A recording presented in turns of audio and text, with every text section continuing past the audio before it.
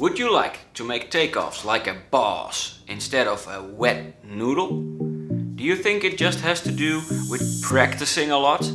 Well, it doesn't. It's something else. You need to find your takeoff mojo. And that is exactly what we're going to do today.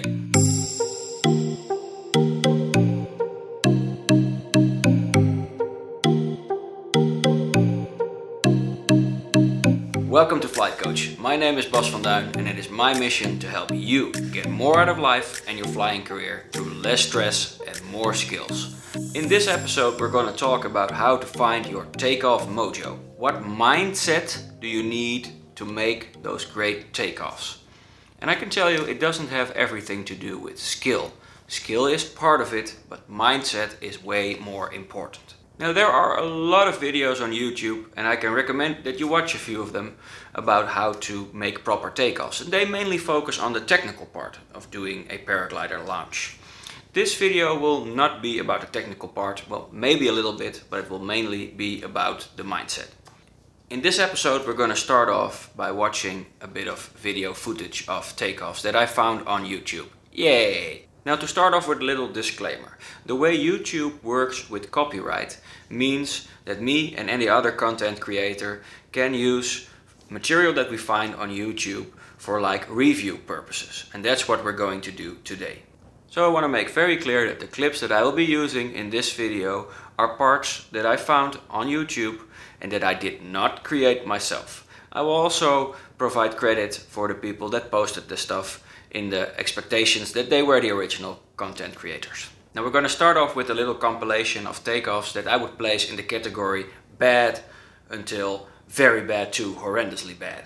If you're watching these videos and think, well, I can't seem to find anything wrong with these takeoffs, they all look quite fine to me, don't worry, don't feel bad about yourself. It just means that there's quite a lot of potential for you to learn from this episode as well. And while you're watching these videos, please ask yourself, what is the common denominator? What is the thing that you see all the pilots do, or maybe omit, that causes these takeoffs to end up the way that they are? One of the services that Flight Coach provides is analyzing your takeoff and landing footage and giving you a few points to improve upon. And I'm feeling a bit sad that in this specific episode we're not having two-way communications because I would really love to know what you're thinking now, what your response would be while you're watching these different kind of takeoffs.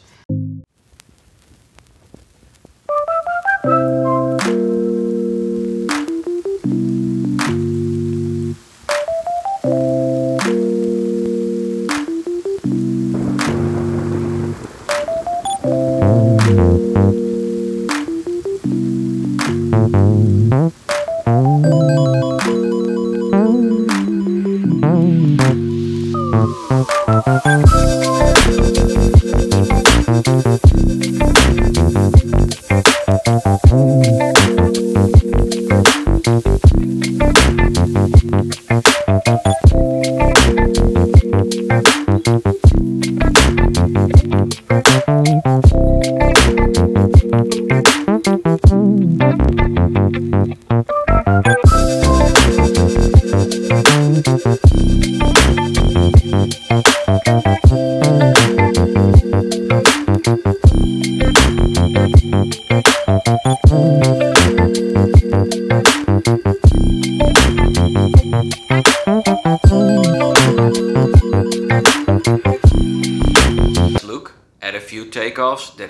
place in the category good till superb. And ask yourself the same question. What is it that all these pilots do that make these takeoffs look this way?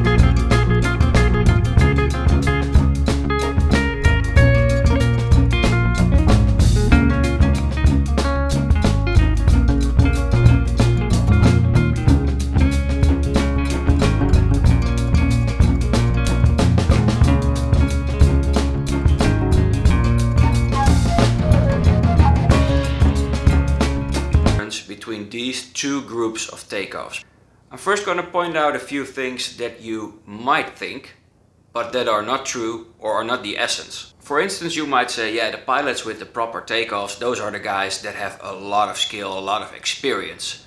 Well, that isn't true.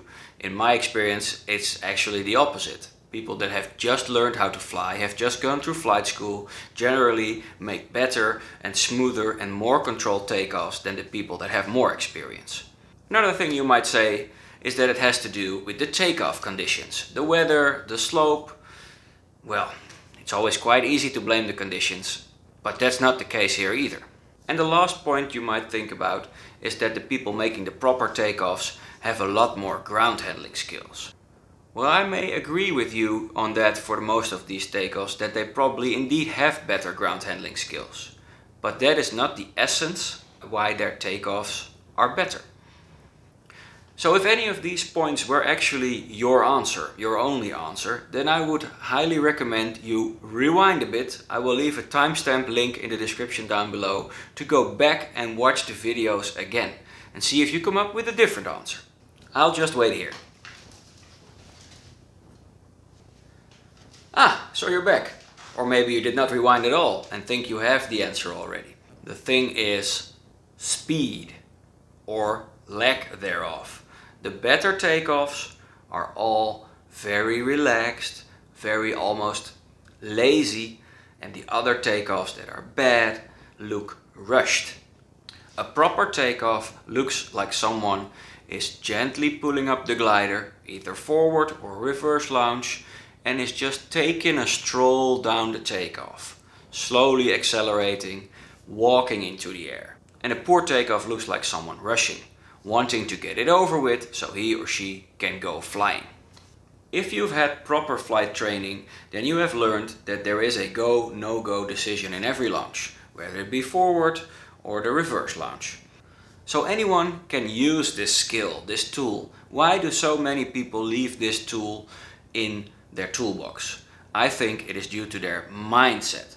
They just need to find their takeoff mojo. We are all born with it and the fact that you're watching this episode now probably means that you have it in abundance because it is one of the things that made you want to go fly. Now it might be somewhere deep down inside of you, but I'm sure that you have it and we're going to find it together in this episode. Because by using the right mindset, you can tap into that takeoff mojo. So, talking about mindsets, let's first start with what I would like to call the wrong mindset. I need to get this takeoff over with so I can finally go flying. Let's do this and hope it goes well. People that have this mindset tend to rush their takeoff.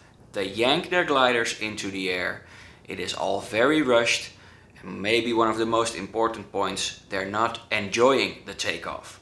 Now I've taught hundreds of people how to make proper takeoffs with a paraglider and believe it or not within the first second I can see whether or not the takeoff is going to be a beautiful one or a rushed one. And that's not because I'm so awesome, it's because I know exactly what to look for. And you will too, after watching this entire episode. When I learned paragliding, I also took off like a raging bull. And do you know what it felt like? I have no idea. Because at that point, I was not working on trying to register what I was feeling. I was just focusing on the step of running and exerting force on the glider. And it took me quite some time to learn how to make proper takeoffs. Now one of the defining moments in my phase of learning how to fly was seeing one of my instructors, a guy called Buddy, do a takeoff. And he was standing on the takeoff, there were a lot of people watching and he pulled his glider up in the air. He was making a reverse launch at that point. He pulled his glider in the air, he checked it and he let it drop down again.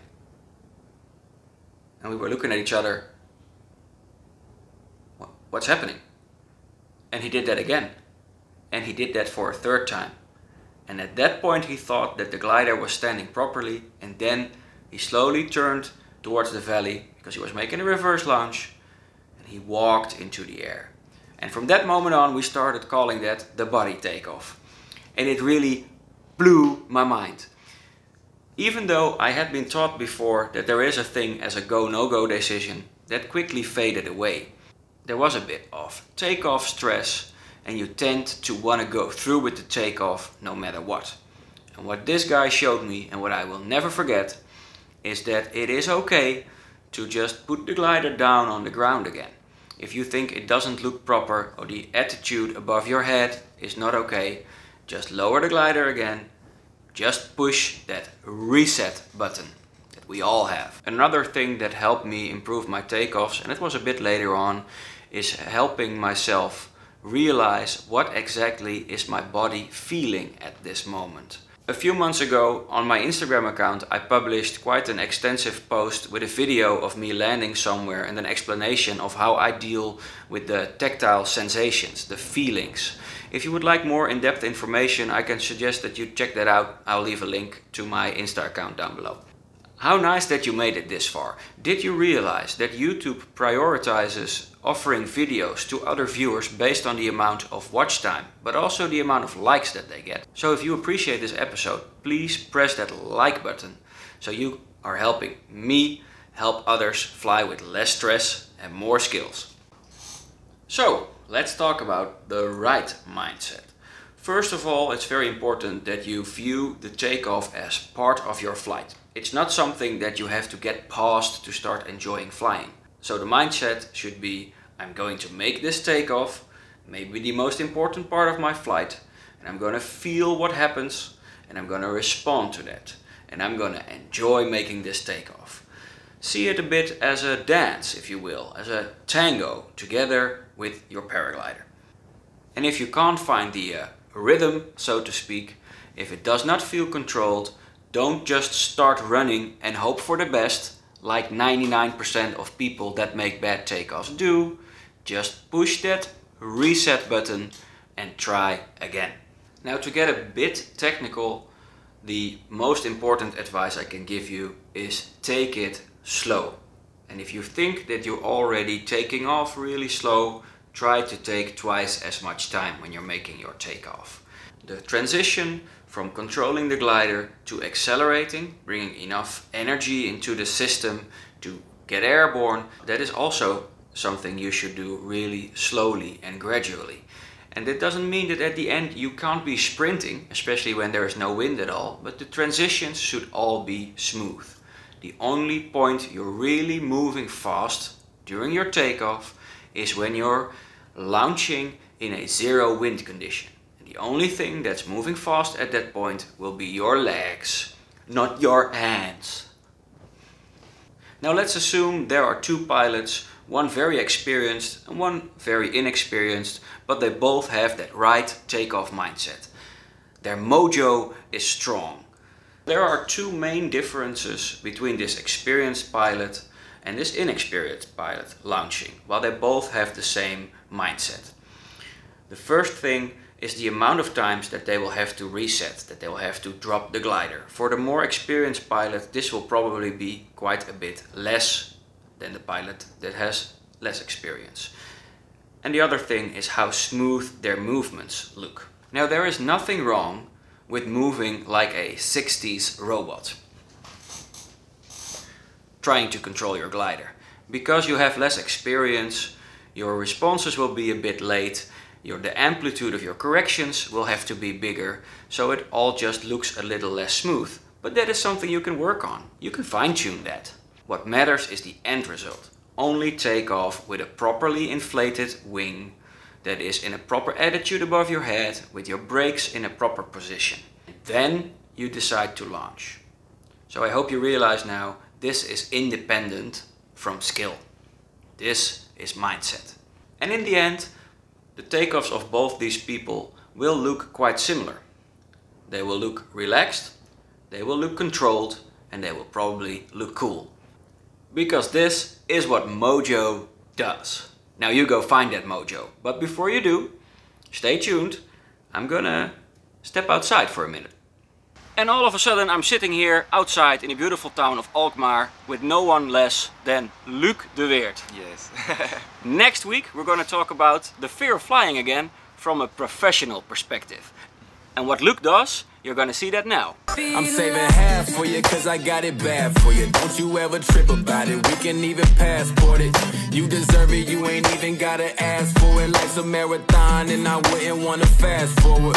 Uh. And for the love, it was back and forth like tennis. Indy down to Atlanta like every weekend, no matter what we had on the schedule. Progressing with every pedal, momentum at speed of light. I need me like 20 medals, yes.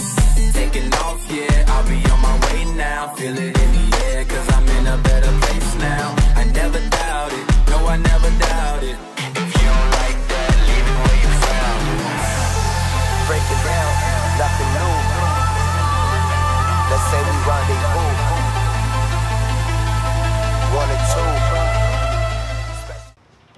Now that's some scary shit, right?